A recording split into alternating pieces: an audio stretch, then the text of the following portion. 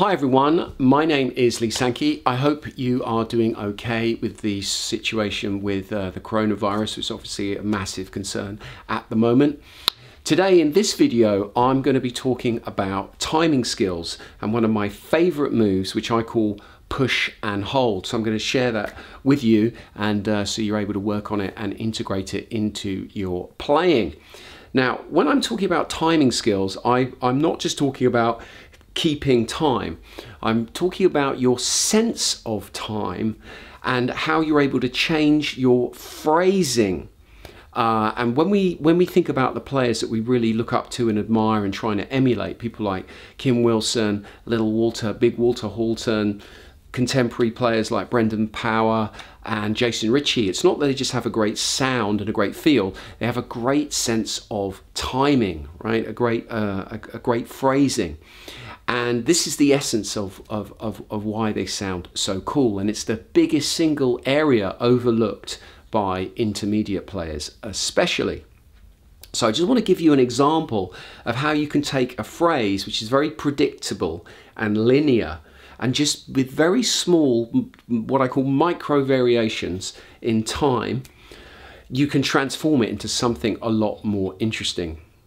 So we're going to be using a C harp in the key of G in cross position.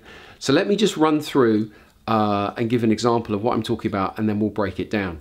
So I'm going to play a very uh, well-known common riff that that that, the, that I'm I'm sure as an intermediate player you'll already know it definitely as a as, as a, an advanced player uh, and then I'm going to take that phrase as I said I'm going to apply what I call this push and hold and you'll see how it changes so I'm going to loop through it and play it in a very uh, predictable manner and then see how it, how it changes. And then what I'm going to do is I'm going to come back and explain how it works.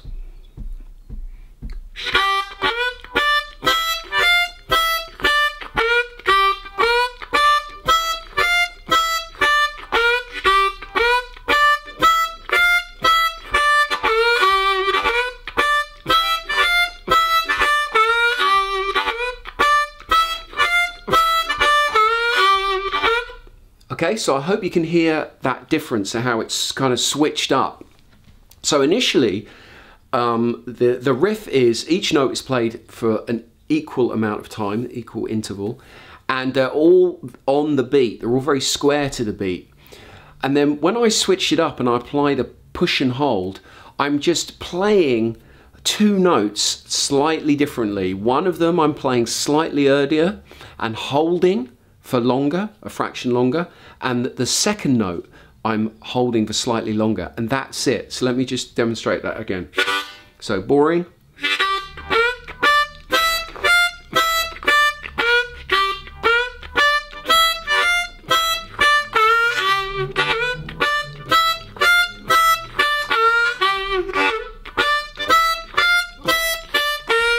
Okay, so suddenly becomes um, a lot more interesting. It's got form, it's got a bit of swagger, it's got a bit of shape, it's, and it's, it's less predictable.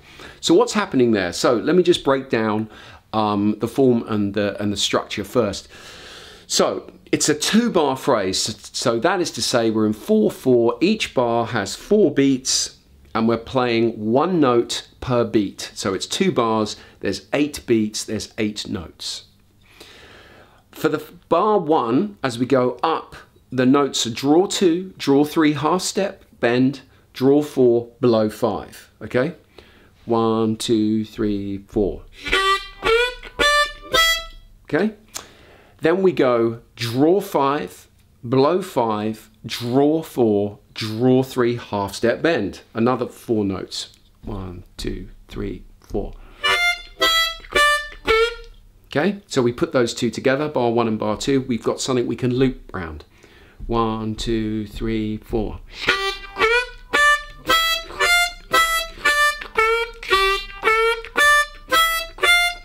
Okay? So how do we switch it up from something which is, which is as I said, frankly, uh, boring, is we apply this push and, uh, and hold.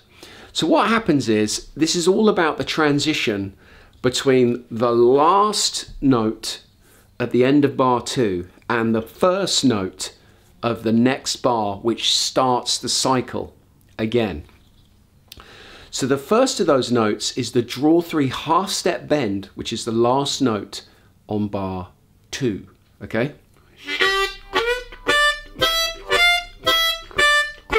Okay, now what we do here with the push and hold is that where instead of playing it on the downbeat as your foot hits the floor on the beat, okay, we're playing it slightly earlier.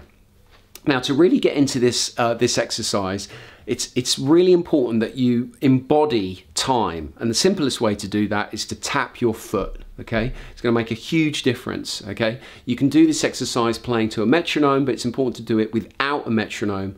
And whether you're doing it with or without a metronome, it's really important to tap your foot or to sway, um, to give yourself, um, you know, to put time in your, in your body, to give it a kind of physicality, if you will.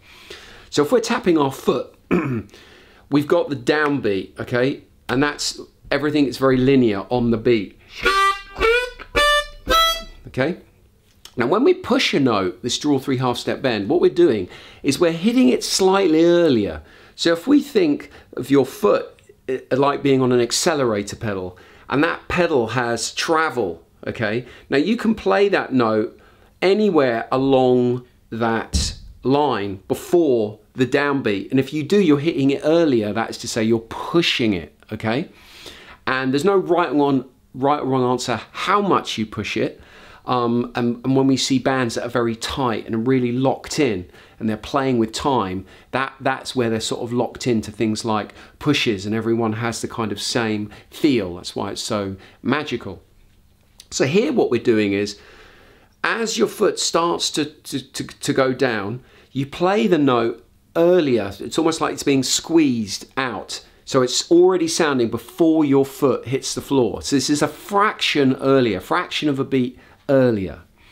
Then what we do is we then, your foot is uh, hits the floor and the note is sounding, then you continue to hold the note as your foot comes up and as your foot goes down. So you're holding it for a beat. It's, it's, it's longer than the other notes, okay?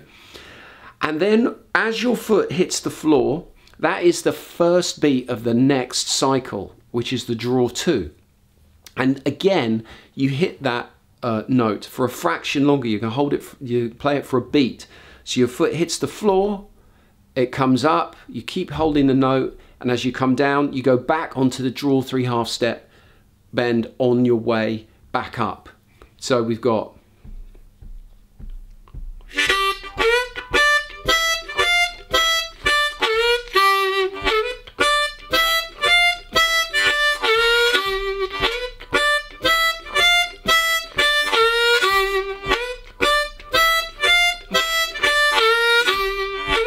Okay, so you've seen it. So it's a, it's a, it's a feel thing. Okay, but you can learn how to do it. Now, if you take these ideas and apply it to your licks and riffs and grooves, you can play around with it, push and hold. Um, you'll find it just gives you um, a new a, a, new angle, a new feel. And this is what I'm talking about when I'm referring to timing skills, things which can improve your phrasing and things which can like break you out of a rut. Now, if you're interested in finding more about this kind of thing, I've got a course on my Vimeo, channel called Timing Skills for Blues Harmonica. So check that out in the link below. You can watch the trailer and find out um, more.